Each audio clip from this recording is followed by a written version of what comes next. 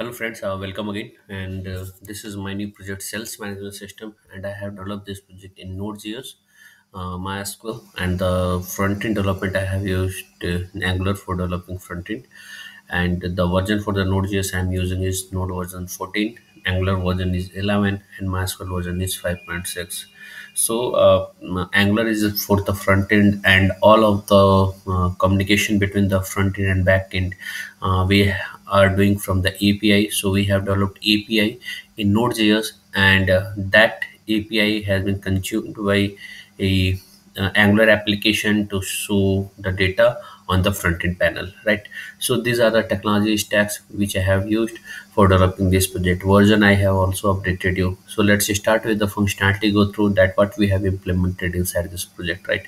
So once you run this project so as you know that uh, for running the angular application you need to install and you need to run npm install first and after that ng serve once you run the ng serve then this page will be loaded on the port 4200 localhost uh, port 4200 right? So once you get this page then you can log in. This is the admin login page. Without login you will not be able to access the internal pages. There is a restrictions right? So you will not be able to uh, access the internal pages. So the user id is admin and password is one test one two three four right so once you log inside the system you will get this page.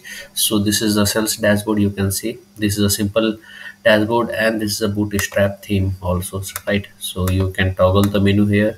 The page size will be increased. Even here from here you can log out and this is the name of the user means admin who has logged in, right? So this is the product report from here. You can uh, see all of the product reports if you want to edit the product then just click on the edit and after that you will be able to edit the product report right? For deleting the product report there is a delete button. Once you click on the delete then that item will be deleted from the database. So you can see there are nine items available here. If you want to add any new product just click on the add new product and here you can add product. Here this is the product type. This drop down is coming from the database. So if you want to add more type then you can add uh, it into the MySQL database. For MySQL, I am using the Jam server. This is a product code, title, stock, cost per items, and descriptions. So after entering all of these fields, the data will be saved into the database.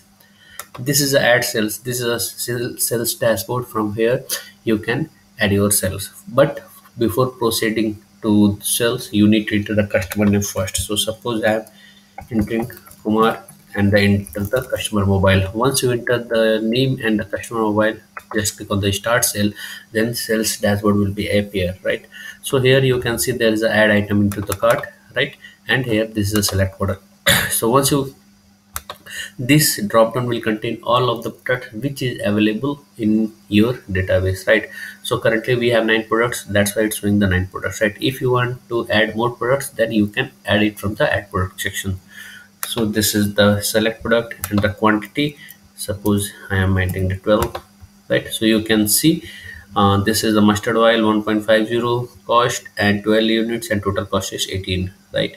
Again i am going to add some other thing and add. So you can see that item has been added into the cart and macaroni.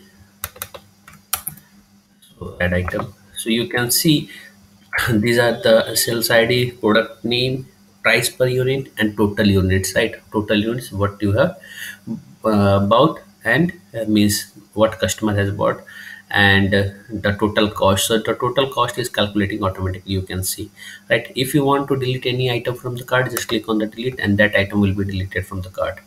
This is a save cells right? Once you click on the save cells then whole uh, page will be whole page data will be saved into the database right so you can see the whole page has been saved into the database and this all details are coming from the MySQL database right?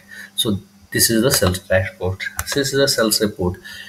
You will be able to get all of the cells which you have made right from the sales dashboard section. So you can see this is a sales dashboard and this is all of the details right? If you want to see so this is the last cells which i have made if you want to see the detail just click on this icon and after that you will be able to see the details of the cells. So you can see this is the detail of the cells right? If you want to delete any of the cells cells data just click on the delete button and that will be deleted from the database right? Logout. So uh, once you click on the logout then session will be destroyed and you will not be able to access the internal pages. So logout you can see you has been redirected to uh, login page. If you want to log in again just click on the login and you will be able to access the uh, admin parts right? So this all functionalities i have developed inside this project. And as i told you earlier this is a node.js mysql and angular project. Node.js we have used for api development mysql for database angular is for front-end development. If you need extra functionality more functionality in this project just put it into the comment. I will incorporate those changes. I will make this project more better and better according to your requirements. And don't forget to subscribe our channel for getting the latest projects videos on the latest technologies. Thanks for watching the video. Thank you very much.